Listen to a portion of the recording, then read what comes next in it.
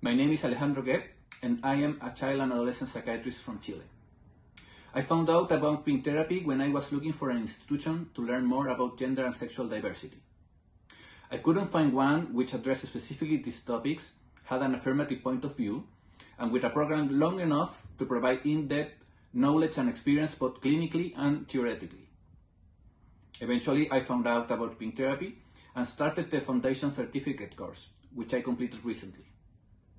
I was really happy to find a place that met my necessities, but also a beautiful and diverse group of professionals from all over the world formed by my tutors and classmates, which created a safe and productive learning environment. The content of the modules was up to date and turned out to be really useful for my daily job as a clinician. They taught me things I haven't considered as important to work with gender and sexual diversity previously. This course also helped me to do better research and to get in contact with a network of clinicians and researchers that expanded my perspective.